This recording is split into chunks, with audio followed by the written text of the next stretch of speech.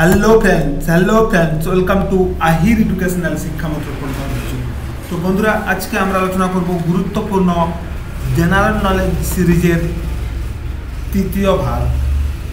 তো বেশি কথা না বলে আসুন, শুরু করা যাক। প্রশ্ন, আপনাদের উদ্দেশ্যে। প্রথম প্রশ্ন। কোন দেশকে প্রাচ্যের ব্রিটেন বলা হয়? চীন, জাপান, পাকিস্তান, মায়ানমার। কোন দেশকে প্রাচ্যের ব্রিটেন বলা হয়? চীন, জাপান, পাকিস্তান, মায়ানমার। তো প্রাচ্যের ব্রিটেন বলা হয় জাপানকে। তাড়াতাড়ি বলছি টাইম অনেক হয়ে যাচ্ছে তো। পুরো ভিডিও দেখছে না অনেকে। তো তাই একটু স্পিড করছি আর কি। দুই নম্বর প্রশ্ন, কোন রাজ্যে সিনেমা হল সবচেয়ে বেশি? মহারাষ্ট্র, বিহার, উত্তরপ্রদেশ, অন্ধ্রপ্রদেশ। কোন রাজ্যে সিনেমা হল সবচেয়ে বেশি? মহারাষ্ট্র বিহার উত্তরপ্রদেশ অন্ধ্রপ্রদেশ তো যে রাজ্যে সিনেমা হল সবচেয়ে বেশি সেটা হচ্ছে অন্ধ্রপ্রদেশ নেক্সট প্রশ্ন দাবা খেলার জন্ম কোন দেশে ভারত চীন জাপান জার্মানি দাবা খেলার জন্ম কোন দেশে ভারত চীন জাপান না জার্মানি তো দাবা খেলার জন্ম হচ্ছে ভারতে নেক্সট প্রশ্ন চার নম্বর প্রশ্ন পৃথিবীর বৃহত্তম উষ্ণ মরুভূমি কোনটি প্রশ্নটা বুঝবেন পৃথিবীর বৃহত্তম উষ্ণ মরুভূমি কোনটি থর কালাহারি গোবি না সাহারা তো পৃথিবীর বৃহত্তম উষ্ণ মরুভূমির নাম হচ্ছে সাহারা নেক্সট প্রশ্ন পাঁচ নম্বর প্রশ্ন আফগানিস্তানের পার্লামেন্টের নাম কি পঞ্চায়েত সেনেট সোরা না ডায়েট আফগানিস্তানের পার্লামেন্টের নাম কি পঞ্চায়েত সেনেট সোরা না ডায়েট তো আফগানিস্তানের পার্লামেন্টের নাম হচ্ছে সোরা নেক্সট চলে যাবো আমরা ছ নম্বর প্রশ্ন এটা একটু মুছে নিচ্ছি এই টাইমটা তো দিতেই হবে নেক্সট ছ নম্বর প্রশ্ন এই প্রশ্নগুলো কিন্তু আমি বিভিন্ন পরীক্ষা থেকে রিসার্চ করে তৈরি করেছি তো আপনারা যদি এগুলো ফলো করেন তো আপনাদের কোনো ভাবতে হবে না নেক্সট ছয় নম্বর প্রশ্ন নন্দ বংশের শেষ রাজা কে ছিলেন পদ্মত ধননন্দ মহাপদ্মানন্দ শিশুনাগ নন্দ বংশের শেষ রাজা কে ছিলেন পদ্মত ধননন্দ মহাপদ্মানন্দ না শিশুনাগ তো নন্দ বংশের শেষ রাজা ছিলেন ধনানন্দ নেক্সট প্রশ্ন সাত নম্বর প্রশ্ন নিচের কোনটি সোনালী পশমের দেশ নিচের কোনটি সোনালী পশমের দেশ? Australia, New Zealand, Pakistan, Japan. মানে প্রশ্নটা হচ্ছে যে সোনালী পশমের দেশ কাকে বলা হয়? তো সঠিক উত্তর হয়ে যাবে অস্ট্রেলিয়া। নেক্সট, আট নম্বর প্রশ্ন। স্বদেশ বান্ধব সমিতির প্রতিষ্ঠাতাকে বিপিনচন্দ্র পাল, রাসবিহারী বসু, শ্রী অরবিন্দ ঘোষ না অশ্বিনী কুমার দত্ত? প্রশ্নটা আরেকবার বলছি।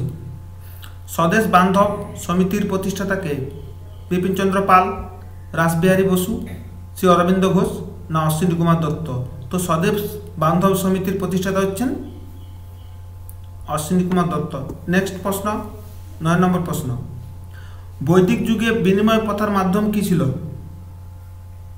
গরু ভেড়া ঘোড়া না হাতি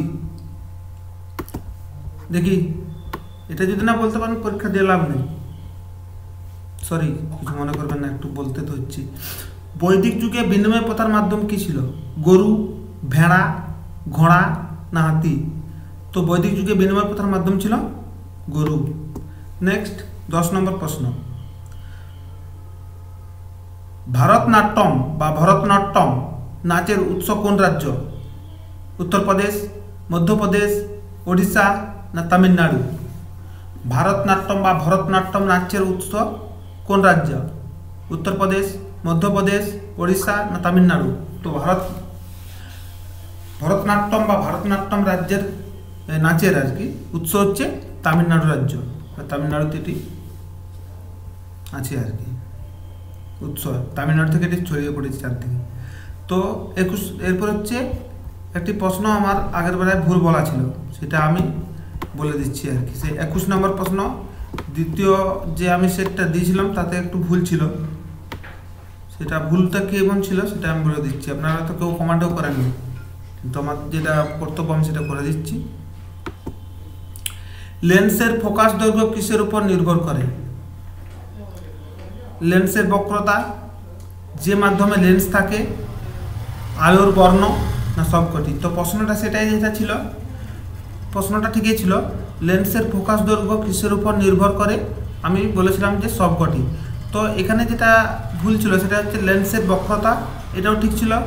যে মাধ্যমে লেন্স থাকে, এটাও ঠিক ছিল। এইখানে এটা একটু ভুল ছিল আর কি। এটা আলোর বর্ণ হবে, কিন্তু সেখানে লেখা ছিল আলোক বর্ষ। তো এটা হবে আলোর বর্ণ। তো নেক্সট আমরা চলে যাব এগারো নম্বর প্রশ্ন। এগারো নম্বর প্রশ্নতে কি বলেছে আমরা দেখে নেব।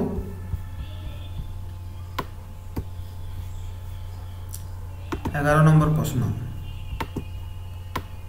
এগারো নম্বর প্রশ্ন হ্যাঁ এগারো নম্বর প্রশ্নতে কি বলেছে আমরা দেখে নিচ্ছি রবার উৎপাদনে ভারতে কোন রাজ্য প্রথম রবার উৎপাদনে ভারতে কোন রাজ্য প্রথম তামিলনাড়ু গুজরাট কেরালা না কর্ণাটক তো রবার উৎপাদনে ভারতে যে রাজ্য প্রথম সেটি হচ্ছে কেরালা কেরালা রাজ্যে সবচেয়ে বেশি রবার উৎপাদন করা হয় নেক্সট বারো নম্বর প্রশ্ন উকাই প্রকল্পটি কোন নদীর উপর নির্মিত নর্মদা তাপ্তি বিপাশা না গোদাবরী তো উকাই প্রকল্পটি কোন নদীর উপর নির্মিত নর্মদা তাপ্তি বিপাশা না গোদাবরী তো উকাই প্রকল্প আছে তাপ্তি নদীতে তাপ্তি নদীর উপর নেক্সট তেরো নম্বর প্রশ্ন হাইড্রার গমন অঙ্গ কি পা পাখনা কর্ষিকা মাংসল পদ হাইড্রার গমন অঙ্গ কি পা পাখনা কর্ষিকা না মাংসল পদ তো হাইড্রার গমন অঙ্গের নাম হচ্ছে কর্ষিকা নেক্সট প্রশ্ন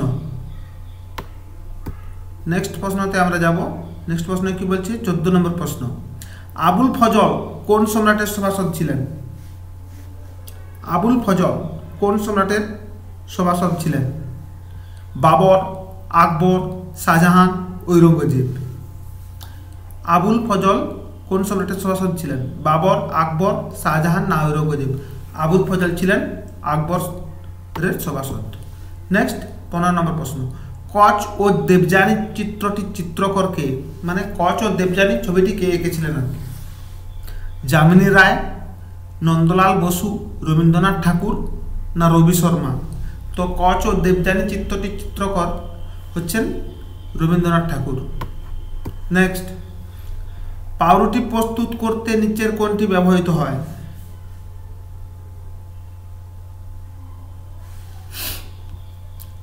সোডিয়াম ক্লোরাইড ভুল লেখা হইল ভুল গেলে সবাই দেখতে পায় সঠিক যেগুলো বলছে সেগুলো তো কেউ কমেন্ট করছে না একটু ভুল হলে দেখুন বিভিন্ন কমেন্ট চলে আসবে তো আসলেই ভালো যত কমেন্ট আসবে তত আমরা ভালো শিখতে পারবো নেক্সট প্রশ্ন ষোলো নম্বর প্রশ্ন পাউরুটি প্রস্তুত করতে নিচের কোনটি ব্যবহৃত হয় সোডিয়াম ক্লোরাইড ব্লিচিং পাউডার খাবার সোডা না বেকিং পাউডার তো পাউরুটি প্রস্তুত করতে যেটি ব্যবহৃত হয় সেটি হচ্ছে বেকিং পাউডার নেক্সট এবার চলে যাব সতেরো নম্বর প্রশ্ন সতেরো নম্বর সতেরো নম্বর প্রশ্ন কি বলেছে আমরা দেখে নেব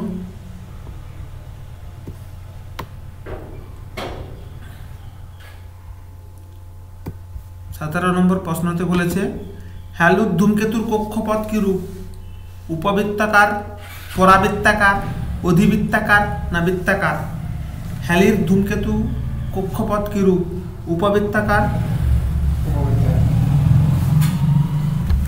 পরাবৃত্তাকার অধিবৃত্তাকার না বৃত্তাকার হ্যালুর ধূমকেতুর কক্ষপথ হচ্ছে উপবৃত্তাকার নেক্সট আঠারো নম্বর প্রশ্ন ভারতের মধ্যে সবচেয়ে বেশি গম উৎপন্ন হয় কোন রাজ্যে?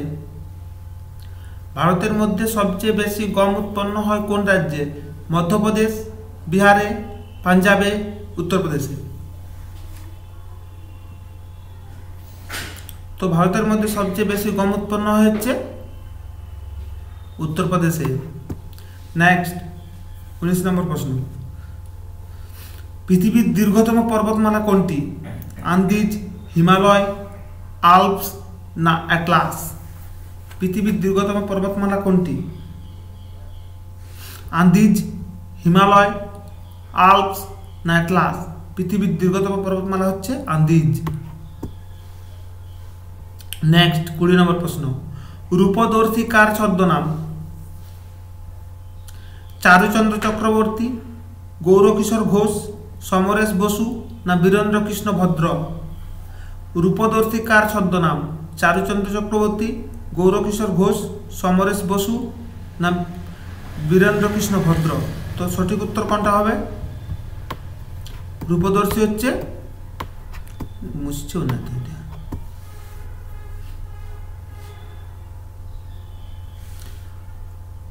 রূপদর্শী হচ্ছে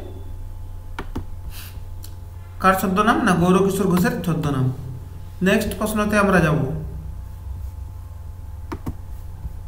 নেক্সট প্রশ্ন কি বলেছে আমরা দেখে নেব। এক কত নম্বর হয়েছিল? এটা কুড়ি নম্বর হয়েছিল না? একুশ নম্বর প্রশ্ন হবে এবার। একুশ নম্বর প্রশ্ন তো কি বলছে দেখে নিচ্ছি। কম্পাঙ্কের একক কি? বলছি দাঁড়ো cycles per second metre per second lumen না ক্যান্ডেলা? এখনই বললি হার্চ হার্জ মানে cycle per second.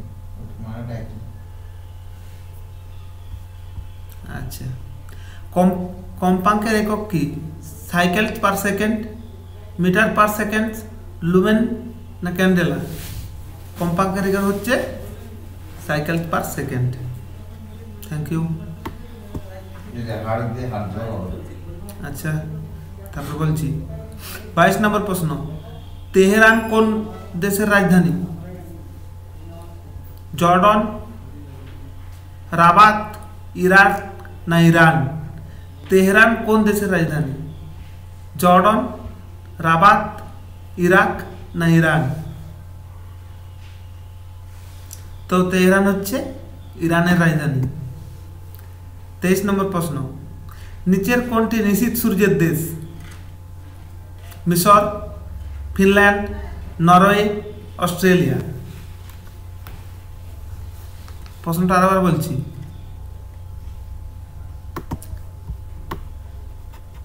নিচের কোনটি নিশীত সূর্যের দেশ মিশর ফিনল্যান্ড নরওয়ে না অস্ট্রেলিয়া তো নিশীত সূর্যের দেশ কাকে বলা হয় ফোন করা যাবে বল ফোন করা যাবে নরওয়ে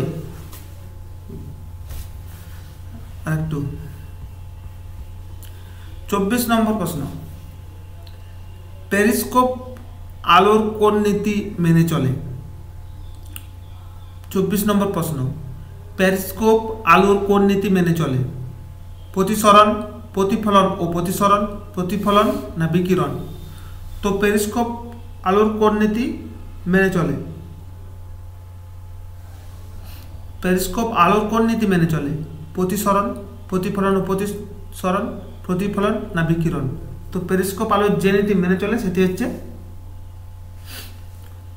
প্রতিফলন ও প্রতিসরণ নেক্সট চলে যাব পঁচিশ নম্বর প্রশ্ন পঁচিশ নম্বর প্রশ্ন কি বলেছে নিচের কোনটি সিকিমের প্রধান নদী তিস্তা তোরসা জলঢাকা বালাসন নিচের কোনটি সিকিমের প্রধান নদী তিস্তা তোরসা জলঢাকা না বালাসন তো সিকিমের প্রধান নদী হচ্ছে তিস্তা। নেক্সট চলে যাব আমরা ছাব্বিশ নম্বর প্রশ্ন। ছাব্বিশ নম্বর প্রশ্ন কি বলেছে দেখে নেব। আর চারটা প্রশ্ন আছে, তাহলে হয়ে যাবে। ছাব্বিশ নম্বর প্রশ্ন সেফটি ল্যাম্প কে আবিষ্কার করেন? সেফটি ল্যাম্প কে আবিষ্কার করেন? মাইকেল ফেরাডে আইনস্টাইন, গেলু, গেলুসাক না হামফ্রে ডেভি সেফটি ল্যাম্প কে আবিষ্কার করেন। Michael Faraday Einstein Gay Lussac না হামফ্রে ডেভি। তো সেফটি ল্যাম্প আবিষ্কার করেছিলেন কে? হুম? না, হামফ্রে ডেভি। ভাল্লুকের দলকে কি বলে? হার্ট, স্লথ স্টেবল না পার্লামেন্ট?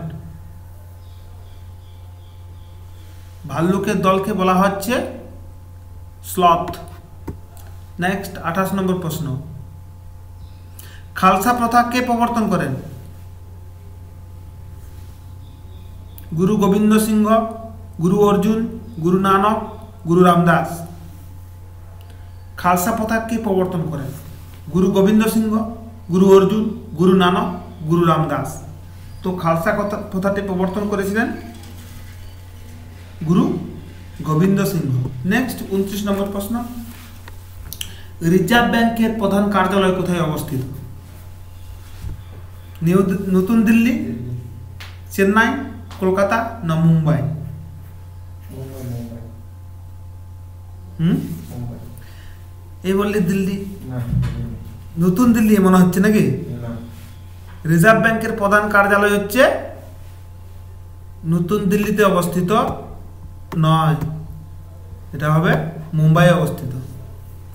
নেক্সট প্রশ্ন তাহলে রিজার্ভ ব্যাংকের প্রধান কার্যালয় হচ্ছে মুম্বাই অবস্থিত নতুন দিল্লি নয় এটা বারবার কিন্তু খেয়াল রাখবেন নেক্সট তিরিশ নম্বর প্রশ্ন নেপালিদের পবিত্র নদীর নাম কি কালীগণ্ডক বাগমতী সেতী না কেউই নয় তো নেপালিদের পবিত্র নদীর নাম হচ্ছে সেতী তো এটাই ছিল প্রশ্নগুলো তো প্রশ্নগুলো শেষ হলো তৃতীয় পাঠ আমি শেষ করে দিলাম। এবার চতুর্থ পাঠ। বেশি এডিটিং করার প্রয়োজন আছে বলে আমার মনে হয় না। সঠিক তথ্য এবং সঠিকভাবে প্রস্তুতি দেওয়াটাই আমাদের মূল লক্ষ্য। তো বেশি কথা না বলে এখানে শেষ করছি। Thanks for watch this channel thank you very much